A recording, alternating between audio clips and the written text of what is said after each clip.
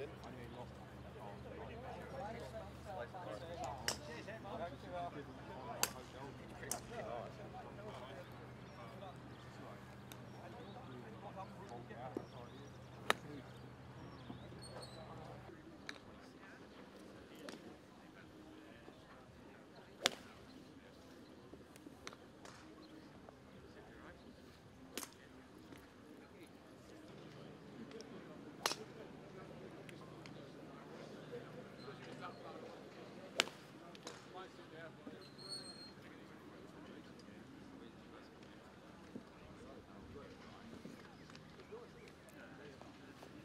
A bit wider.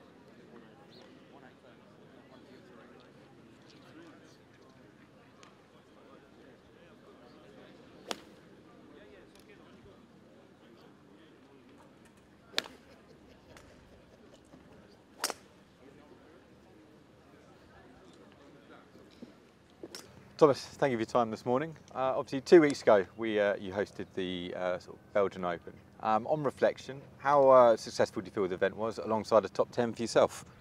I thought it was very, very successful. Um, just watching all the fans that that um, attended the whole tournament had a, had a good good vibe to it. So I was um, I was very happy, and I think the the promoters were uh, really, really happy. Um, uh, you took four weeks off before that, after the Masters.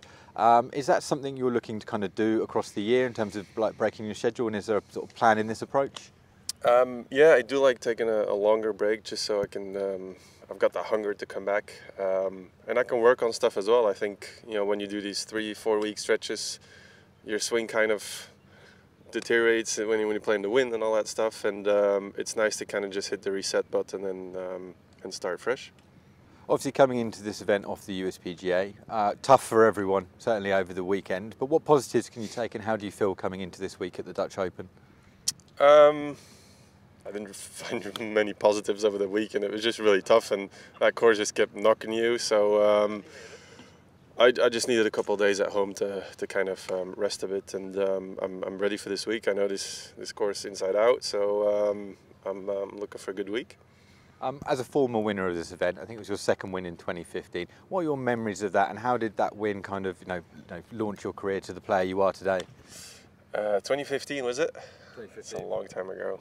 Um, it was definitely amazing just to um, to win two times that quickly.